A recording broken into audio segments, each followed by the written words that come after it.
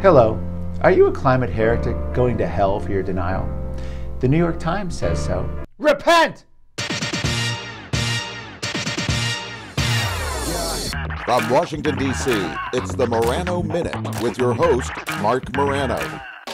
Author Michael Crichton once said that environmentalism seems to be the religion of choice for urban atheists. And New York Times columnist Paul Krugman once wrote concerning climate skeptics he said their climate denial is an almost inconceivable sin. Who knew the New York Times believed in an afterlife? The Washington Post even featured a theology professor urging climate deniers to repent for the moral evil of climate change denial. And the UN IPCC chairman said global warming was his religion. According to climate activists, it's going to get really hot for climate deniers, whether in this life or the next. For more information, visit climatedepot.com.